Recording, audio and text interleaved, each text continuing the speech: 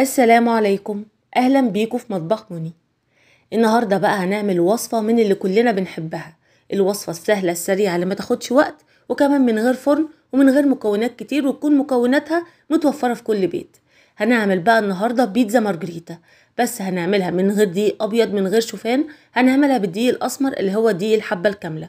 وكمان هنعملها من غير بيض من غير زبدة ومن غير عجن كمان. هنعمل بيتزا سايلة في الطاسة. مناسبة للدايت العادي وكمان مناسبة لمرضى السكري. طريقة تحضيرها سهلة في ثواني كده بتكون جاهزة. يلا بينا نشوف طريقة العمل. هنبدأ بقى دلوقتي بالطريقة على طول. زي ما قلت أنا هعمل البيتزا دي من الدقيق الأسمر اللي هو الدقيق القمح الكامل اللي هو الدقيق اللي فيه الردة يعني. آه هاخد منه بمعيار معلقة الطعام أو المعلقة الكبيرة القياسية تلات معالق كبار. هنحط عليهم رشة بسيطة كده من الملح. وهنضيف كمان دلوقتي تقريبا كده آه ربع معلقة صغيرة من ال baking powder. هي دي المواد الجافة. هنقلبهم مع بعض بالمضرب اليدوي وبعد كده هنبدأ نعجن بالمية.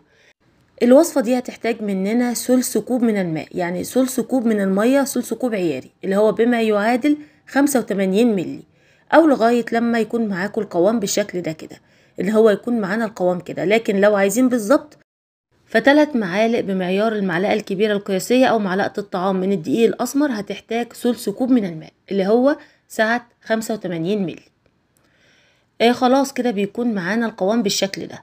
جاهز بقى دلوقتي إن إحنا نعمل البيتزا.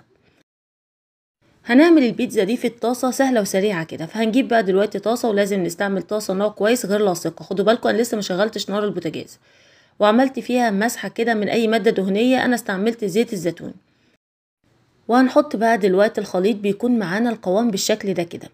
لو عايزين بديل الدقيق الأسمر ممكن إن أنتوا تستعملوا الشوفان ونفس النتيجة بالظبط اللي هو دقيق الشوفان بعد كده وزعت الخليط كده مليت بيه الطاسة كلها الطاسة دي مقاس ستة وعشرين. هبدأ بقى دلوقتي أوزع الخليط بالشكل ده كده خدوا بالكم أنا لسه ما شغلتش نار البوتاجاز.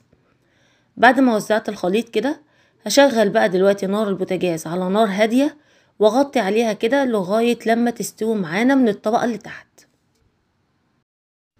ما بتاخدش وقت ابدا تقريبا كده دقيقة أو دقيقتين كده لغاية لما يكون معانا بالشكل ده إن هي سابت معانا الطاسة وكمان طلعت معانا فقاقيع بالشكل ده كده يبقى هي كده خلاص استوت. هجيب بقى دلوقتي سباتولا كده وأتأكد إن هي سايبة معانا الطاسة خالص قبل ما نقلبها على الناحية التانية ونبدأ نحط الحشو. زي ما إحنا شايفين بتتحرك معانا بسهولة خالص في الطاسة اهي. هنقلبها بقى دلوقتي على الناحية التانية بالراحة كده عشان ما تتكسرش. في الوقت ده بقى هنقفل نار البوتاجاز خالص وبعد كده أنا مجهزة معايا في التلاجة كده شوية كده من صلصة البيتزا اتبقوا معايا من وصفة تانية. فهنحطها بقى دلوقتي على الوش كده يعني كفاية معلقة أو معلقتين كبار ونوزعهم بالشكل ده.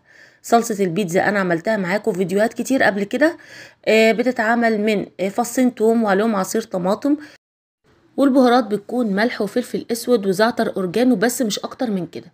ونسيبها على النار لغاية لما تتسبك ويكون القوام بتاعها تقيل بالشكل ده. اعملوا منها كمية وحطوها دايما عندكم في التلاجة وطلعوها وقت الاستعمال. دلوقتي بعد ما حطيت على الوش كده تقريبا معلقتين كبار من صلصة البيتزا. هوزع برضو على الوش كده يعني حوالي ربع كوب من الجبنة الموتزاريلا المبشورة.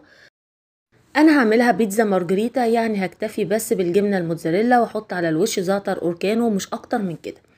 عايزين تحطوا مثلا بواقي لحمة عندكم متعصجة بواقي فراخ أو تحطوا تونة زي ما تحبوا. لكن أنا حبيت إن أنا أعملها سهلة وسريعة كده. فبعد ما حطيت شوية كده من الجبنة الموتزاريلا ووزعتهم بالشكل ده أحط بقى دلوقتي على الوش شوية بسيط كده من الزعتر الاورجانو وخلاص كده البيتزاية بتكون جاهزة معانا.